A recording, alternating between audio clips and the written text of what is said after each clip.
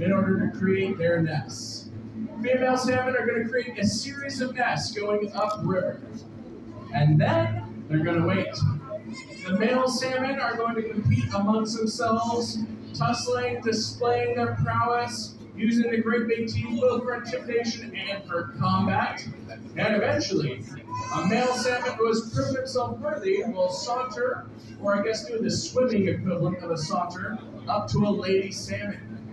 He will then put the moves on her. He is going to shake and vibrate. This is sort of the salmon equivalent of a uh, charming pickup line. He said, "Hey there, baby, how you doing?"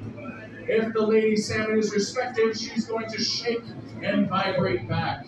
This is the salmon equivalent of a romantic candlelit dinner. After that, the female salmon will deposit her eggs, her roe, into the nest, and the male salmon will fertilize them with his milk.